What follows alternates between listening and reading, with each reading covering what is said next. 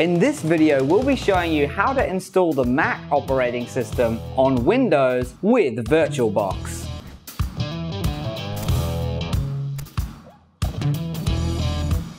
Hey guys, it's Joel here from Make Tech Easier. As a Windows user, there may be times when you need to use the Mac OS, but perhaps you don't have the money to invest in your own Mac computer. Apple has always made it hard to install their operating system on non-Apple hardware, making it hard to take advantage of the benefits of this refined operating system. With VirtualBox, however, it is possible to install the Mac OS on your PC. Let's take a look at how you can do this. First, you'll need to download a copy of Oracle VM VirtualBox. You'll also need an ISO image of the Mac OS version you want to install. Getting a hold of an ISO is actually more difficult than you might expect. If you have access to a Mac, you won't be able to download a copy of the operating system you've already installed. If the Mac is running Mac OS Mojave, open the Mac OS High Sierra page in the App Store and download the installer from there. You will need to convert this APP file to a DMG and then convert from a DMG to an ISO in order to be able to install it in VirtualBox. A less complicated but also less secure option is to search for an ISO of your desired version of macOS Online. There are plenty sites that have them, but downloading an ISO from an unofficial site does come with a level of risk. Install VirtualBox on your Windows PC by following the instructions. Click New to create your new virtual machine. Use the name of your Mac OS version to name your virtual machine. For example, High Sierra or Mojave. The type and version should autofill with the correct settings. Select the amount of RAM to be allocated to your virtual machine. Allocating more RAM will help speed up your virtual machine, but make sure you leave enough for your host operating system, whether that's Windows or Linux. Choose Create a Virtual Hard Disk Now and click on the Create button. Leave the default setting of VDI checked and click Next. Decide whether you want a dynamically allocated or fixed size virtual hard drive. A dynamically allocated drive will start small and grow in size as more space is needed.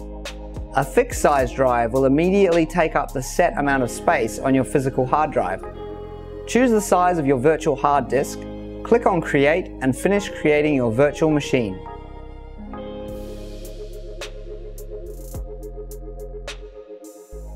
With your virtual machine highlighted, click on the Settings cog, select System from the side menu and make sure that floppy is unticked and in the boot order settings.